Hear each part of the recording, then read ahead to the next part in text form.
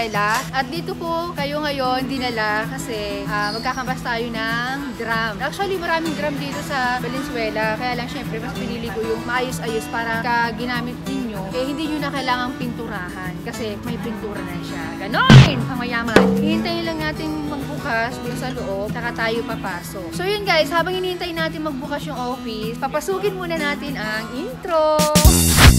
So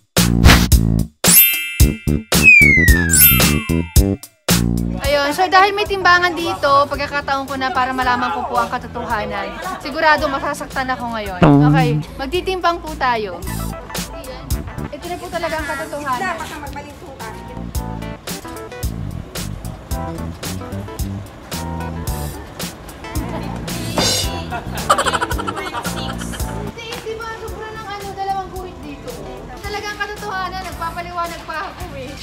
Guys, grabe, 58 kilo na ako. Ano ba yan? Masyado ko na napabayaan yung sarili ko. So naisingit ko tuloy dito yung ano, yung timbang ko. Kasi habang hinihintay namin po yung nagmamanage doon sa mga drum. At grabe, nadismaya ako. Sinabi ko na eh, alam ko masasaktan ako eh. Kaya nga ganito yung suot ko, nakapang workout ako. Ayan. Kaya ako nakapang-workout kasi nga, ang plano namin ni Mama, mag-jogging muna kami dito. Kaya lang, hindi na naman matutuloy. Pero ngayon, nalaman ko yung timbang ko, itutuloy ko to, besh. Pipilitin ko talaga. Sobrang nakabayaan ko na, grabe, 58 kilo. Hindi ako makapaniwala. Akala ko mga 55 lang ako. Kaya mas maganda rin talaga minomonitor mo yung timbang mo eh. Kaya hindi pala nakakapagtaka na hindi ko na masuot yung mga damit ko. Tiningit ko lang po yun. Okay, so guys, ito yung sinasabi ko sa inyo mga drum. Ayan, na for sale. Marami dito niya sa Valenzuela, pero dito kami madalas pumupunta, kaya ito na lang din yung tinanungan ko. Siguro same din naman sa ibang company. Ang kagandahan lang dito guys, ito kasi bago. Eh yung nakita namin dun sa kabila, medyo may medyo may kalakalawang na. Tapos mas maganda sana kung plastic. Ang tataniman, kaya no choice na tayo, kaya okay na rin siguro to. Ayan, lahat yan wala na yung laman. Marami pa sila niyan. Kaya kung gusto niyo pong pumunta dito, bibigay ko yung address nila at dito kayo pwedeng bumili. Ayan yung kanilang address. Nakita kami dito mga nagtitinda ng prutas. Bibili kami prutas. Mayroon tayong plastic. 20 ang kalahati. Opo. Libre tikim. Sige. Isang kilo po. Alam nyo guys, mas maganda kung bibili kayo ng mga prutas sa mga ganito kasi mura lang. Dahil hindi naman sila nagabayad ng pwesto. Ito naman, 25 ang 1 Ang timbangan, i-check na mabuti. Okay, uwi muna ako. Titimbangin ko muna kuya, okay lang? Sabi ko kay kuya, okay lang ba uwi muna ako? Titimbangin ko lang muna. Dito din po kuya, isang kilo, maliliit lang. Tikim tayo ng isa. Magagalit na yan. Tapos, dahil tayo talaga ay nagkaalaman kung ilang kilo ako, magpuputas lang tayo lagi mga bes. 30 ang kalahati. Kuya, 50 na lang kilo. Iiyak ako. Isang kilo po. Yung kasing ganda ko, kuya, ha? What? Yan, dami namin nabili. Tapos yun, si mama pinapipili ko pa. Good morning! Kain muna po tayo ng biscuit. Ayan. Biscuit-biscuit lang muna tayo. Dahil yung katotohanan kahapon, sobrang sakit. Mm. Tapos, tapos, tapos. Tapos, iwas muna tayo sa kape. Dahil minsan naisip ko rin, dumating yung point. Ito na naman, nagpifilinggera na naman si Sila King Cheers. Pag dumating yung point na na-meet nyo ako, eh kahit paano, medyo lumiit-liit naman tayo. Dahil maraming sa inyo, kahit hindi pa naman ako famous, eh maraming gustong makita ako sa personal. Pag-ahandaan ko ng konti yan kasi nakakaya naman. Marami din nagsasabi na sexy raw ako, ganda daw ako, mga ganun. Yan. Nasa mga anggulo lang yan. Nasa pagkakakuha lang ng camera yan. Ang katotohanan po talaga ay ang laki ko. Ang inip. So, ubusin ko lang itong aking maligamgam na tubig na may lemon and cucumber. Ah, totoo. Tingnan natin kung may mangyari. Ah, tara, puntahan natin yung drum doon at ipakat na natin para masimulan na ang ating pagtatanim. So ito guys, yung nabili namin kahapon. Ayan. yung Ang gagawin Wala. namin dyan, tataniman namin siya ng halaman. Pero kailangan mo munang linisin na mabuti. Kung kayo bibili ng ganito. Kasi, ayan po, nakalagay dito, toxic. Yan yung ano, ah, isa sa mga chemical na ginagamit sa paggawa ng foam. Hindi ko lang alam kung pwedeng gawin tong istakan ng tubig eh. Pero para sa akin, wag na lang. Mas magandang gamitin ninyo yung ah, plastic kesa ito. Kasi alak na nakalagay dun eh. Hindi naman siya masyadong mabigat, sakto lang. Kaya ko nga eh. Oh. Siguro mga 10 kilos. Ah, karamihan na kulay blue. Yun. So, red yung gusto ko para partner ko sakasakali dun sa pintura ng bahay. Kasi ang plano kong pintura ng bahay, guys, is yellow. Ah, nasa pintura na, eh, wala pa nga halos dingding, nakakaasa. So, ikakat nila yan ngayon. Ang dami kong naiisip. Dapat pala gantong sardinas yung in-order natin, eh, ganito kalaki. Argentina. Oh, kaya meatloaf. Dapat mga ganyang kalalaki pag sa handaan, ano. Sa mga nagko-comment ng hindi maganda dyan, ayusin nyo lang, ah. So ito guys yung gagamitin namin na lupa doon sa drum sa pagtataniman. Ayan. Kaya lang hindi basta-basta dudurugin pa raw to, i-condition pa to bago doon ilalagay. Kasi magtatanim po kami ng nyug. Tarot.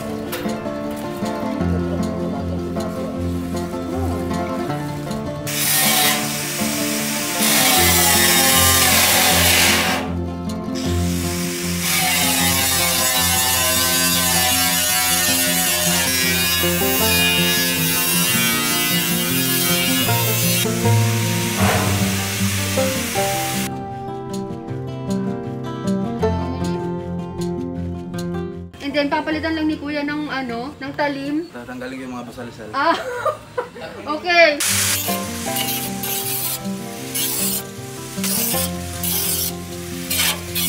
So yan guys, hindi ko pa hindi tataniman yan. Siguro mga ilang araw pa. Kailangan muna linisin yan. Magsusunog muna doon sa loob para siguradong matanggal yung chemical. So kaya hindi pa natin magagawa ngayong magtanim. Sasama ko po sa mga next video ko kung ano yung prosesong gagawin dyan sa paglinis. Kasi kailangan talagang malinis na malinis na malinis. Kasi chemical po ang laman yan. Kaya mas, mas maganda, drum na kulay blue. Na mas safe yung kesa dito. Pero ito naman, okay din naman kasi marami na pong gumawa niya na iyan yung ginamit sa pagtatanim. So yun, excited pa naman ako na magtanim kanina. Kaya lang napag-desisyon na namin ni Itay, wag na muna kasi nga, ano, nakakatakot. Mabuti nang sigurado tayo. So dito muna ako sa taas. Sige, ma-imagine muna ako. At dito nga po kasi ilalagay yung drum sa taas. Siguro mga 12 na pinutol na drum yung kasya dito sa taas. Mas higit pa nga eh kasi pwede naman dito sa bubong. Kaya para lang hindi mabulok yung bubong, lalagyan lang ng hang. Wow, may hang akong nalalaman. Papatungan na kahoy. Kasi pwedeng mabulok o pwedeng masira kasi yung yero. Basta ganun, alam na siguro ni Airpat kung ano gagawin. Ayaw rin po kasi ng tatay ko na magtanim ng puro bulaklak lang o hindi mapakinabangan. At marunong din naman siya kahit papano sa panananim. Before, nananim siya ng mga pinya, talong, sibuyas, kamatis, at luya. At saka mayroon mga gulay noon po sa Bicol. Sinabi rin po sa akin ng tatay ko na pumunta ako sa, ayan sa screen nyo guys. Kasi napanood niya po sa balita na mas gusto ni President Duterte na magtanim ang bawat mamamayan dito sa atin. Why not coconut na hindi ko puntahan po yan para humingi ng tulong para sa lupa. Mga organic soil, mga mismong pananim. I-share ko po yan sa inyo guys kung makakahingi tayo sa kanila or kung ano yung tulong na bibigyan nila sa atin. Kasi pag pupunta pa po ako ng Fairview at bibili po ako ng organic soil, may kamahalan po. Eh, ang dami po lupa na gagamitin. Nasa ilang gram po yan. Sana, maengganyo ko po kayo na mananim din kasi iba pa rin po talaga yung may sarili kang ani. Balik uli po tayo doon sa drum. Alam ko, marami nag-aalala sa inyo nung makita po ninyo yung nakalagay doon sa cover ng drum na may nakalagay na toxic. Lason po talaga yan dahil isa po yan sa mga chemical sa paggagawa ng foam. Pero marami na pong nagtanim na yan po ang ginamit. Kaya para po sa akin safe naman. Basta siguraduhin nyo lang po na talagang malinis na malinis as in malinis. Kaya nga po ang ginagawa ng tatay ko, nag-aano siya sa loob niyan, nagsisiga, tapos hinuhugasan niya ng hinuhugasan ng sabon, tapos sondrok. So saan pa ba tayo makakabili pa ng drum? Sa Valenzuela. Halos lahat po ng warehouse doon mayroong drum. Binebenta po talaga nila yan. Magkano po ang isang drum? 250 pesos po ang isa. So kung marami ka pong kukunin, pwede nyo pong makuha ng 200 pesos po ang isa niyan. O mas higit pa. Kung barat ka, mga 150 pesos. Pero kung talagang mas grabe yung barat mo, hingiin mo na lang 10. May nakita rin po ako doon ng mga drum na maliliit, pero may mga kumukuha daw po kasi sa kanila noon. Pero kung gusto mo pong bumili ng gano'n, nasa pakikiusap mo naman niya, pwede ka naman humirit. Bukod po doon sa pinuntahan namin, meron pa po isang pwedeng bilihan na mas malaki pong bilihan ng mga drum. Ayan po sa screen ninyo ang address, yan, pwede po kayo dyan pumunta. As in, magsawa po kayo. Tatanungin niyo po ako kung pwedeng istakan ng tubig, hindi ko po sinasabi na pwede, pero ang share ko lang po sa inyo, marami na po pong gumawa niya na ginawa pong istakan ng tubig yan. Para sa paglalaba, sa pagliligo, yung mga kamag-anak po namin sa kabila. Hanggang ngayon naman po, ay buhay po sila. Kaya nasa inyo na po yan. Again, hindi ko po nire-recommenda na gawin nyo po istakan ng tubig yung mga drum. Nasa sa inyo po yan. Kasi baka mamaya ay gawin nyo, tapos mali-mali naman yung proseso yung ginawa ninyo, nagkaroon kayo ng sakit ako pang masisite. Para sa akin, mas nire-recommenda ko po talaga ay yung kulay blue na drum. Talagang safe po yan. Kasi ang laman po niyan ay alak. Pero yung iba siguro, shampoo, toyo, mga ganon. Pero base po doon sa pinuntahan ng tatay ko, mabibili po yan. Drum na kulay blue na yan ay sa pabrika ng Emperador. 250 pesos po ang isang drum niya noong pumunta siya noon. 2 years ago yata yun. Ibig sabihin, hindi naglalayo yung presyo po nung drum na binili ko. Kung napanood nyo po yung previous video ko sa Commonwealth, 800 pesos to 1,200, 1,400 hanggang 1,800 ang isang drum doon. Samantalang sa pabrika po ng mga Emperador, mabibili nyo lang po siya ng 250 pesos at hindi ko lang po alam kung paano po yung proseso ng pagbili doon dahil nung pumunta yung tatay ko, hindi po sila pinapasok. Talagang nagkambas lang din po siya kasi nga, plano po talaga namin magtanim ng ah, halaman dito sa aming rooftop na kung saan makakakuha ng pananim na libre lang, kung saan makakakuha ng organic soil na galing sa gobyerno.